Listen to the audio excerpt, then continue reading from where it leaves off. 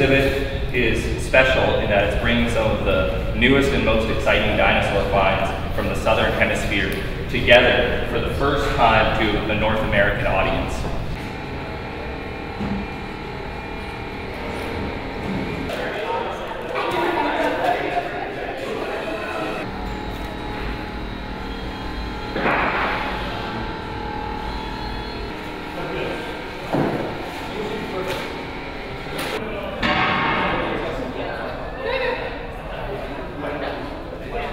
Today, uh, a, a project like this takes a lot of effort from a lot of different people. This exhibition was conceived at the Royal Ontario Museum and built by our, our team of curators and designers. Uh, and we work with Research Casting International, which is the premier dinosaur building um, company in the world, and it's run by Peter May. Uh, Peter May's built dinosaur exhibits for some of the greatest museums in the world, including the American Museum of Natural History, uh, the Museum for Naturkunde in Berlin, and he helped us build our dinosaur galleries here in the Michael Lee-Chin Crystal at the Rom.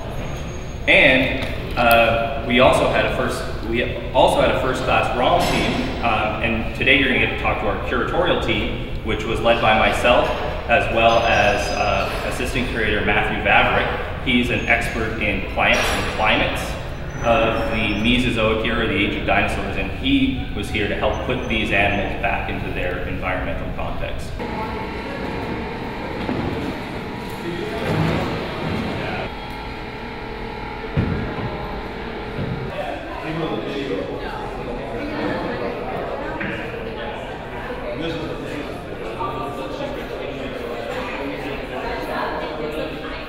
In this new exhibit that we've got here at the Royal Ontario Museum called Ultimate Dinosaurs Giants from Gondwana, um, what we want to teach people is that dinosaurs were these living, breathing animals and they, they were evolving in response to a very dynamic Earth.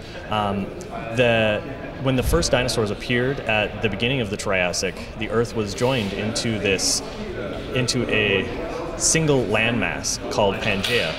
Through the age of dinosaurs, that landmass then broke apart into uh, first North and South, the supercontinents called Laurasia and Gondwana, and later into the individual continents that we know today.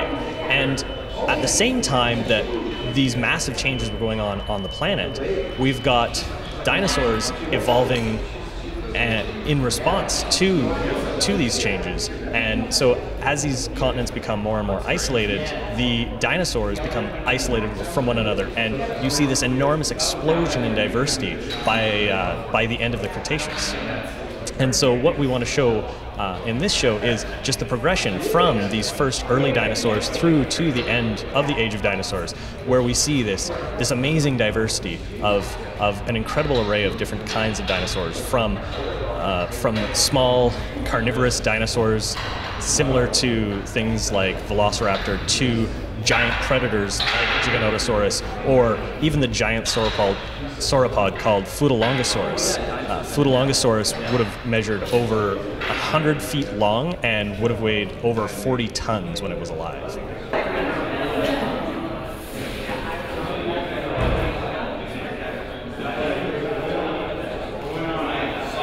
Our job here is to build all these dinosaurs that you see in the exhibit. So we have a lot of dinosaurs from the from Gondwana, which is the southern continent of, uh, of the world, many, many, many millions of years ago.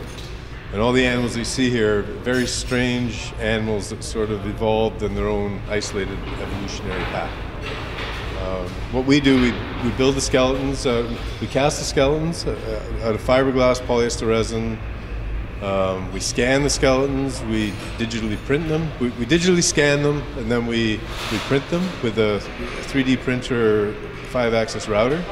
When we have the individual elements, what we do, we, we take the, uh, the bones and then we core all the vertebrae out and then we string them like pearls, pearls on a necklace and they go all the way through.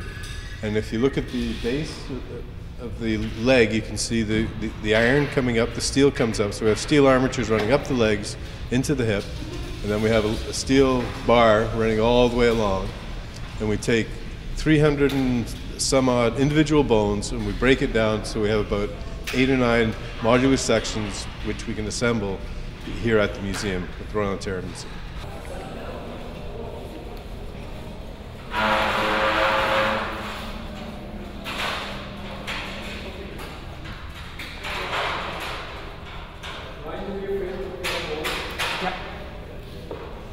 So the dinosaur I'm standing in front of right now is one that most people would probably be familiar with called Tyrannosaurus rex. So Tyrannosaurus rex lived in the late Cretaceous um, about 65 million years ago in what is now North America. And Tyrannosaurus rex is what we used to think was the biggest meat-eating dinosaur to have ever lived. Um, since the 1980s and 1990s, we've found a number of new dinosaurs that rival Tyrannosaurus rex in size. Um, however, at the time that Tyrannosaurus rex was living, North America was isolated from all the other continents. So at that point in time, there was no land bridge between North and South America. So even though Tyrannosaurus rex may not have been the biggest dinosaur to have ever lived, it was still the biggest dinosaur living in North America when it was alive.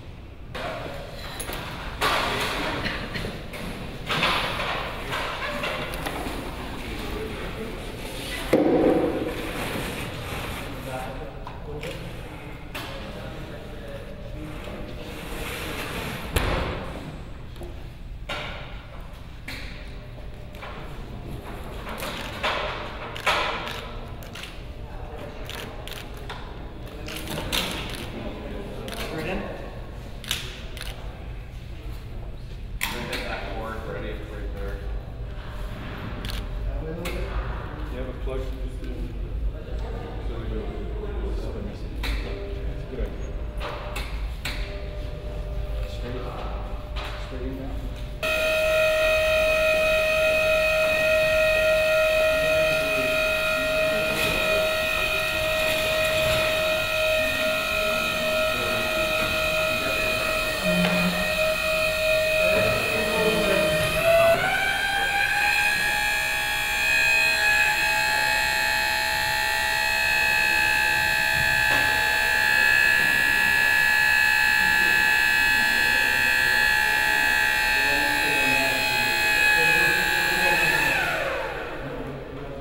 Okay, the um, we, we put about 18 skeletons together for this show, and the, the skeletons come from all all over the southern continent. So we have skeletons from Africa, Madagascar, uh, Af- South Africa, Argentina, and North Africa. And um, what they compose of, they're, from museums all, all through the South, and they had crews go out and collect the specimens. Then they would have taken molds from it. They would have made the casts. If we didn't have the molds to cast things up, then we purchased the casts. And then we have about 18 people in our shop who, who work on various parts of this. We do molding and casting, we do um, digitizing, we do scanning, we do printing, we do um, metal work, we do blacksmithing, and, and it follows a whole process till finally we get to the end result, which is a mounted skeleton. All told, the project here took us about two years to, to put everything, to, to source the skeletons, to get the skeletons in, and then to mount everything. Um, and it'll, it'll come like what we have here is one of the, the biggest carnivores ever, Giganotosaurus from the south, and he's competing with one of the biggest carnivores from the north, which is T-Rex. then upstairs, when it opens, we're going to have a Futalognkosaurus, which is one of the biggest dinosaurs ever discovered.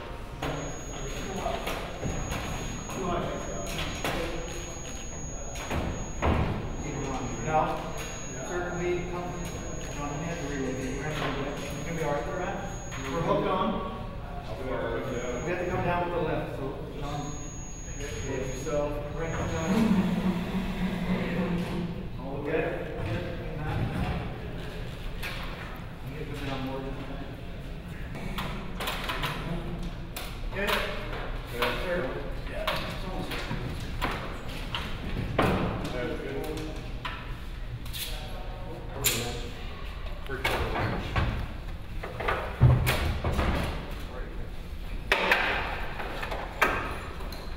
Uh, what I'm standing in front of right now is a dinosaur called Giganotosaurus.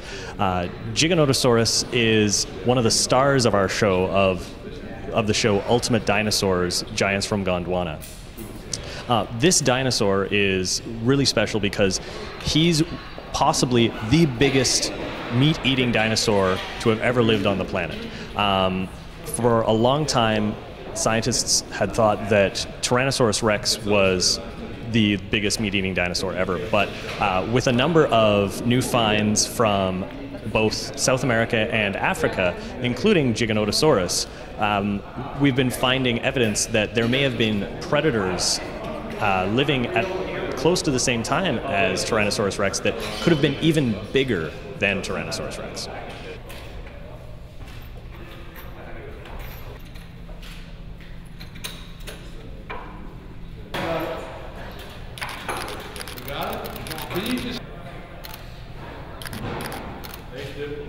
Our facility is based in Ontario, Trenton, Ontario, and um, we're we've been mounting dinosaurs for the past 25 years. So uh, we worked in museums throughout the world. We've worked in uh, in America, in Japan, in New Zealand, Australia, Africa, England, Europe, Germany. It makes us proud to, to work here in Ontario, at our, our home, because usually we're all over the world and we, don't do a lot of work here in Toronto. So it, it's good for us, it's good for our crew. And